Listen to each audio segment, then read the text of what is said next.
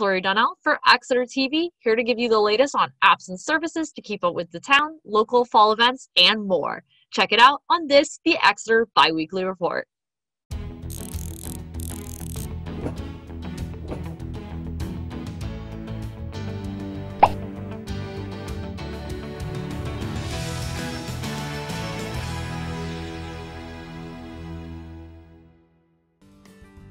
Well, folks, you'll be wanting to mark your calendars because October 17th is Household Hazardous Waste Day.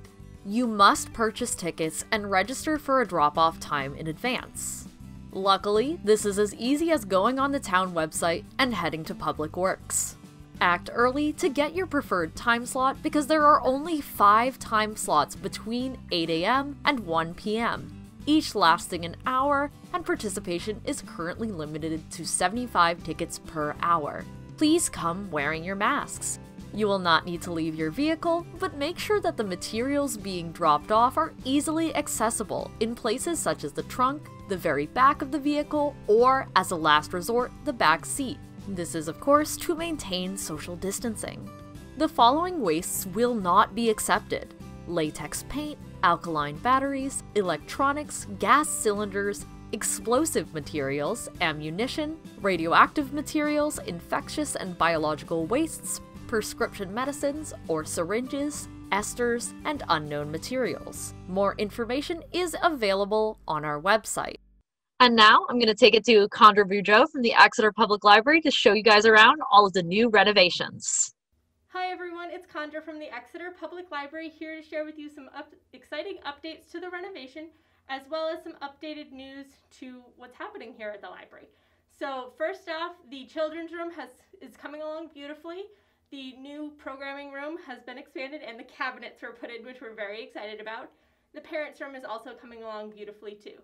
Inside the main seating area and the main book area of the children's room, we have gotten the new cushions for our window seats, which is very exciting, as well as the framing around the windows as well. So it come in, it looks beautiful, and it seems like there's updates every single day.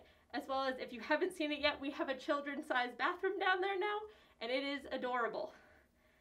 The other thing that's been happening this week has the new entrance has been moved or is moving slightly to the right of where it currently is, and they're laying the bricks this week to what's going to line our new front door, which is very exciting to see that happening. Also, the windows for our upstairs adult services book area have been installed, so the beautiful tall windows that will be overlooking Stringbridge and the river are there, and we're so excited to see them finally in place. As for a few updates from the library, we are very excited to announce that book groups will be coming back this October for all ages. You can sign up starting on October 1st and pick up your books then on October 1st. The other exciting thing that's happened is interlibrary loans are back. So if you are looking for something that we may not have, come on in or give us a call and we can help you try and find it from another library throughout New Hampshire. We can't wait to see you back in the library and we're here to help you.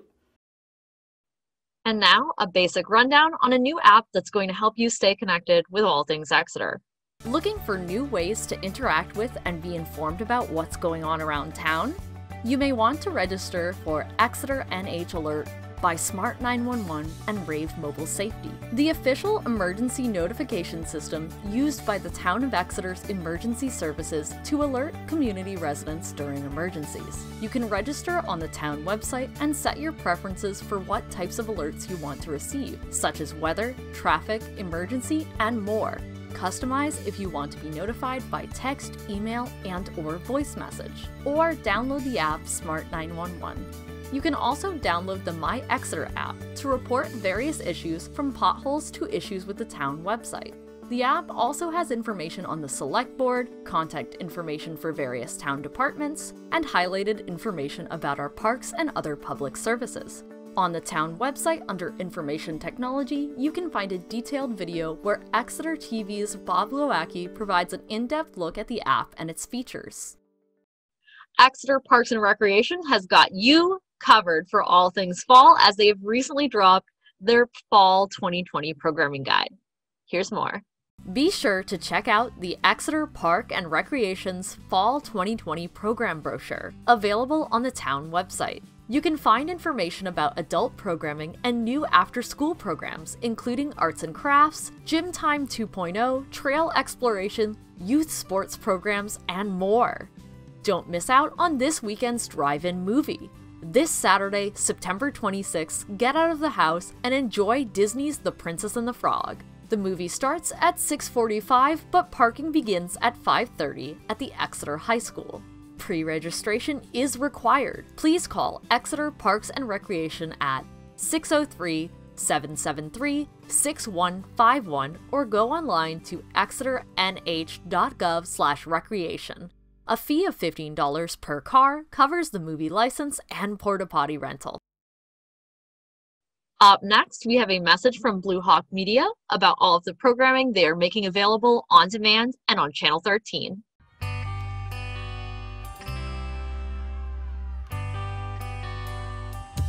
Blue Hawk Media is now streaming Exeter High School sports on their YouTube page, Blue Hawk Media TV. You can catch replays throughout the week on Blue Hawk Media Cable Channel 13. Blue Hawk Media is also showing the latest school board meetings from all the SAU 16 communities and helping the community stay up to date on school reopenings and more. Find the 2020 Convocation and Exeter Fire Department's safety instruction and tour videos playing on Blue Hawk Media Channel 13 or on demand at youtube.com slash c slash Blue Hawk Media TV. Sports, meetings, and more from SAU 16 and Blue Hawk Media Channel 13.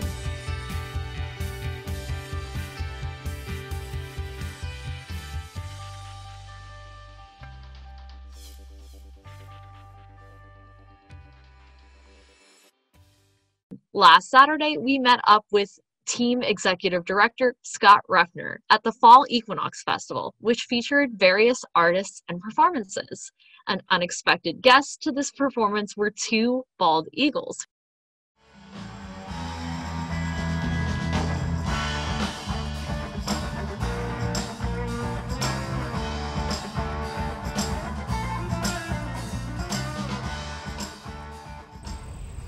Hey everybody, it's Scott Ruffner, Director of Team. We're down here at beautiful Swasey Parkway, beautiful downtown Exeter in the backdrop. Uh, we're here for the 2020 Team Equinox Festival. Uh, beautiful fall day. Uh, we've got music on the stage right now. We've got four food vendors, 20 art vendors. We also have a singer-songwriter tent uh, right here in the parkway, so lots of choices. People are enjoying the music, socially distancing, wearing their masks and uh, it's really a beautiful day. We want to thank the community for um, for coming out and coming together during these uh, difficult times. But it's been a great day, and our local artists uh, are really struggling right now, and they appreciate all the support from the community that they, that they get. And uh, we would love to hear from people if you have any ideas of how we can keep the arts alive uh, during these times as we head into the fall and winter months. But again, thanks again for coming down to the 2020 Equinox Fest.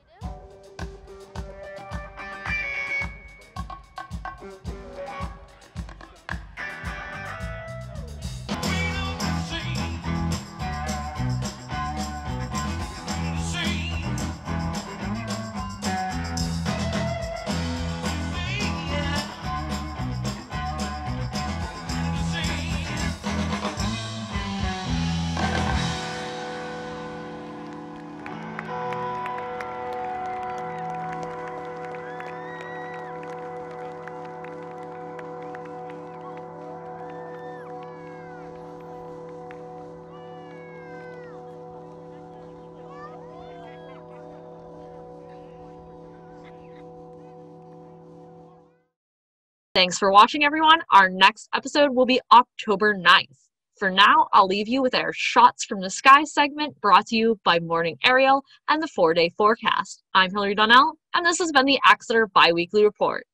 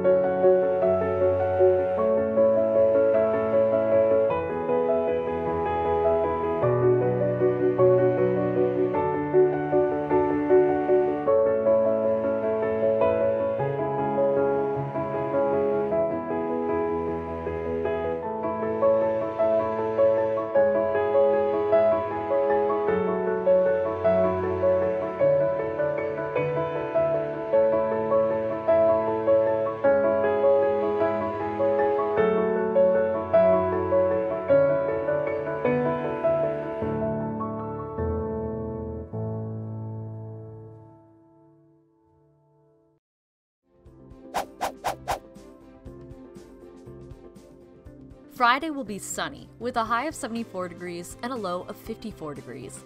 Saturday will be mostly sunny, with a high of 79 degrees and a low of 60 degrees. Sunday will be partly cloudy, with a high of 80 degrees and a low of 64 degrees. Monday will be cloudy, with a high of 77 degrees and a low of 63 degrees.